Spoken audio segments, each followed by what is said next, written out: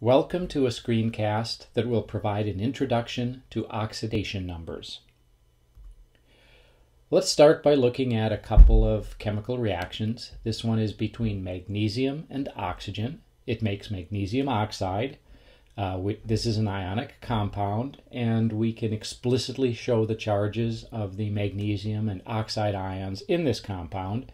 And when we do that, it's reasonably uh, easy to see that the magnesium loses electrons to make Mg plus 2. The oxygen gains electrons to, makes, to make O minus 2. And this is a redox reaction, oxidation and reduction. Here's another example. Zinc metal reacts with hydrochloric acid to make zinc chloride and hydrogen gas. And once again, if we explicitly show the charges of the substances involved in the reaction, then we can see that the zinc loses electrons, it's oxidized. The hydrogen ion gains electrons and it's reduced. Again, we have an oxidation reduction reaction. And in general, of course, if a substance is oxidized, it's going to lose electrons, which means its charge increases. When a substance is reduced, it gains electrons and its charge decreases.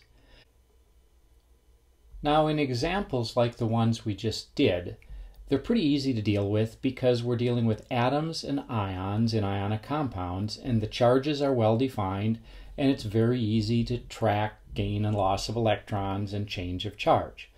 But if we have molecular compounds, then things aren't quite as simple we don't have well defined charges, even though we still have oxidation reduction.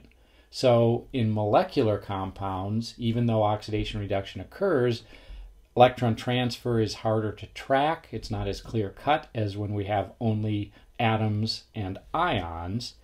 And so, what chemists have done is we've developed a concept called oxidation number uh, and this is what something we use to describe and to track what's going on in terms of oxidation and reduction, in terms of gain and loss of electrons, uh, even in molecular compounds where the charges aren't that clear cut. And how this works is what we do is we assign to each element in a compound the charge that the atoms would have if the compound were ionic. So note this is kind of important uh, thing to be aware of we treat the compounds as ionic in terms of how we assign oxidation numbers, even though they aren't ionic. So this is a convention we use. It's not what's actually happening. These charges don't really reflect charges of ions. Um, now, of course, the stuff we've talked about before is still true. Oxidation does still correspond to losing electrons, which means the oxidation number or the charge increases and reduction corresponds to gaining electrons or decreasing the charge or decreasing the oxidation number. And again, remember, if this seems a little bit backwards, it's because electrons are negatively charged. So less electrons means less negative charge, higher positive charge. And uh, more electrons means lower or more negative charge. Okay, now here are the guidelines that we use to assign oxidation numbers. For a given species, its oxidation number is assigned in the following way, and we'll uh, do several examples here of types of substances and specific examples. So first of all, if we're dealing with an element, sorry, an atom in its elemental state, the oxidation number is zero.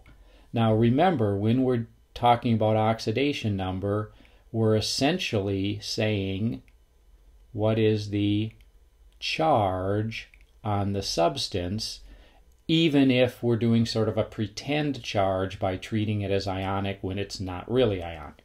But in this case, atom in elemental state, you're dealing with the element carbon, its oxidation number is zero.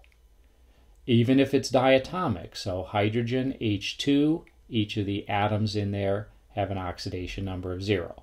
And our convention is we write oxidation numbers above the symbol for the element.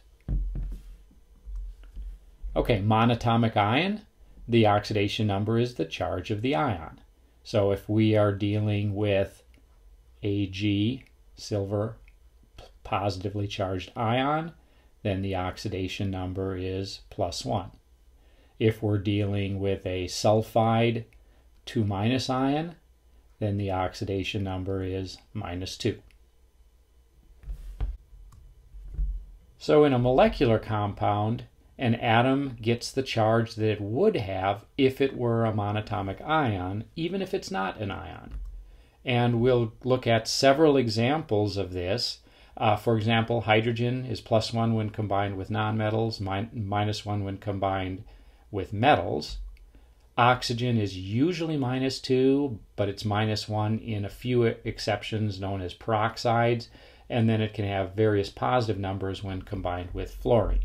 So let's do an example uh, here.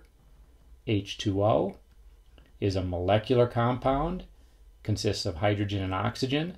These aren't ions, these are molecular compounds covalently bonded, but we treat them as if they would be ions, in which case H would be a plus 1 ion and O would be a minus 2 ion. And in water, note that the oxidation number of oxygen is minus 2, oxidation number of hydrogen is plus 1, but there's two hydrogens, so that gives a total charge of plus 2, which balances off the uh, minus 2 charge from the oxygen. Now, here's an example of the exception. H2O2 is a peroxide, hydrogen peroxide, in fact. And notice if we had an oxidation number of plus 1 for hydrogen and minus 2 for oxygen, that wouldn't add up to 0. And so in these cases, this is an exception. Hydrogen has an oxidation number of plus 1 and oxygen has an oxidation number of minus 1. Uh, notice this is not that common. You're not going to run across too many peroxides, but um, if you do, then that's an exception to the minus 2 for oxygen. Uh, the other rule that we'll use is that halogens are always negative 1 if it's fluorine, and then usually negative 1 in other instances with other uh, for other halogens, unless we're combined, it's combined with oxygen or some other halogen as well. And note these are the charges that the ion normally forms, just like O minus 2 is the normal for oxygen, hydrogen plus 1 is the normal for hydrogen. And as has been uh, alluded to or mentioned a couple times so far, the sum of the oxidation numbers of all the atoms in a molecule or a polyatomic ion equals the charge on the molecule or ion. So we can do a couple examples of this. Uh, we could do something like maybe the sulfate ion, SO4 minus 2 charge. And we have sulfur and oxygen. Our rule is that oxygen is usually negative 2 unless it's combined with, uh, unless it's a peroxide, which we don't have, or it's combined with fluorine, which we also don't have. So oxygen is minus 2. That's what we'd say its oxidation number is. But then notice we have four oxygens. So that's a total charge for the oxygens of minus 8. And then whatever the oxidation number or charge for sulfur will be, it has to add up with the minus 8 due to the oxygens to give minus 2 total charge on the ion. And so, of course, the number that works there is plus 6. So we'd say the oxidation number on the sulfur is plus 6. Okay, one more. Uh, how about the compound OF2? And we'll notice here we have two rules oxygen, usually minus 2, fluorine, always minus 1. So if we did oxygen what it's usually, minus 2, and fluorine what it is as an ion, minus 1, it's not going to be able to add up to 0, but fluorine trumps uh, oxygen, so to speak. So that has an oxidation number of minus 1.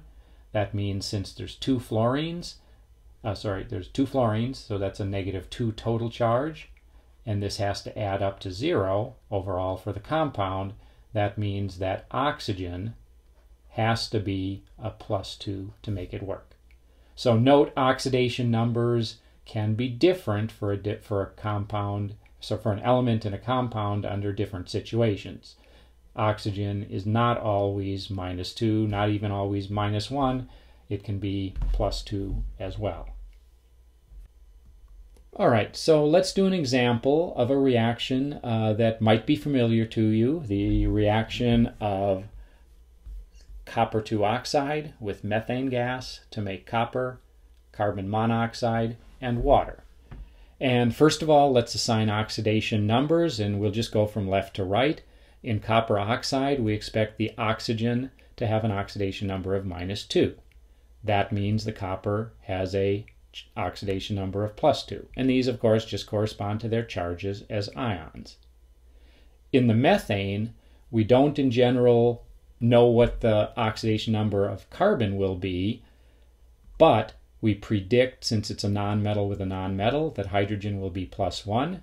Since there's four hydrogens, that means that the carbon has to be negative 4 for its oxidation number to balance off the charge and have it all, all add up to 0.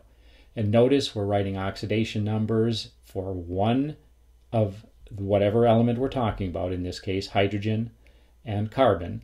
We write them above the element symbol, and the, to- the total has to add up to, in a compound, uh, zero, but the charges or the oxidation numbers are for individual atoms. Okay, copper is the element, so charge or oxidation number is zero. Carbon monoxide, we expect oxygen to have an oxidation number of minus 2 most of the time. This is not an exception. Therefore, carbon is plus 2. And then in water, we did this one previously. Hydrogen's plus 1, oxygen's minus 2, and that adds up to 0 as expected. Okay, so what we note now is that the copper's oxidation number went from plus 2 to 0 and the carbon's oxidation number went from negative 4 to plus 2. And the other substances, the oxygen and the hydrogen, their oxidation numbers didn't change. So the substances that have their oxidation numbers change are the ones that are oxidized and reduced. For carbon, the oxidation number increased from negative 4 to plus 2. So increase here means becoming more positive, does not mean magnitude. And so increase in oxidation number corresponds to oxidation, so we'd say copper is, uh, sorry, carbon is oxidized. For copper, the oxidation number decreases from plus 2 to 0, and so we'd say the copper is reduced. Um, thing to note as well, the oxidation number for carbon changed by 6 from negative 4 to plus 2, that's an increase of 6. The oxidation number for copper only went down by 2. From plus 2 to 0 is a decrease of 2. But notice there's 3 copper involved in the reaction, and so 3 times 2 is 6, and you'll always get total oxidation number change being the same value in terms of magnitude for the increase in the oxidation and the decrease in the reduction if you consider all the atoms involved. Um, now, going back to something we've seen before, the substance that is oxidized is the reducing agent, and the substance that's reduced is the oxidizing agent. So, copper 2 oxide, CuO, is the oxidizing agent, and methane, CH4, is the reducing agent. Uh, the agents are going to be the whole substance involved in the process. And that is it for our introduction to oxidation numbers.